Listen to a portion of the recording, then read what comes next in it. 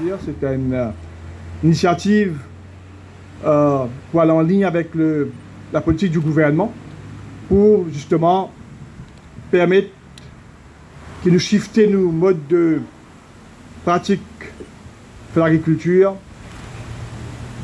du système conventionnel vers le système organique.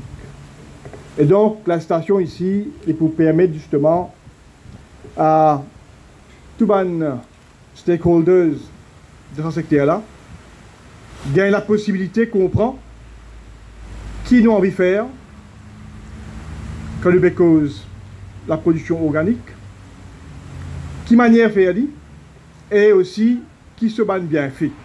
Pour qu'il connaît chaque produit, chaque effort qu'il peut mettre pour produire ce légume, il dit d'une manière transparente et il donne un prix connaît finalement exactement qui prix ça.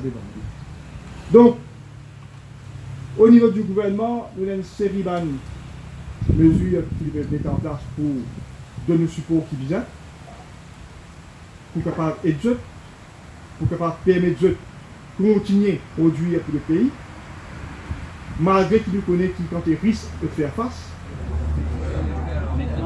organic inputs comes away more organic seeds that are trying to.